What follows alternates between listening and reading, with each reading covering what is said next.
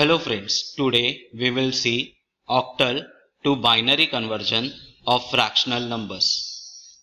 To understand octal to binary conversion of fractional numbers, one should know a binary code of each octal number. So there are total 8 octal numbers from 0 to 7 and those numbers can be converted into binary digits with the help of code of 4 to 1. So let's try to understand what is this. Let's take example of 6 and 6 is addition of 4 and 2. That's why code is 110.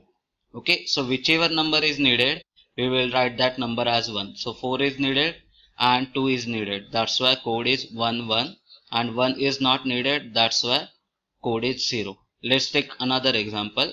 3. 3 is addition of 2 and 1. That's why code is 0, 1, 1. Let's take another example. 5. Okay, 5 is addition of 4 and 1. That's why code is 1, 0, 1. Let's take one more example. 7.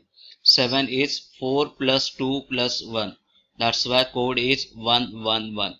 Once we know this conversion method then we can easily convert octal to binary let's take example 43.15 to the base 8 is equal to question mark to the base 2 here base 8 means this number is in octal number system and we need to convert it into binary number system because base of binary number system is 2 and base of octal number system is 8 so simple method is there. What we will do we will convert these numbers individually into a binary code. Okay? So let's start with 4 4 is just 4 is needed 2 and 1 is not needed. That's why code for 4 will become 100 then 3 for 3 2 and 1 is needed 4 is not needed. That's why code will become 011 then this fraction point will come as it is.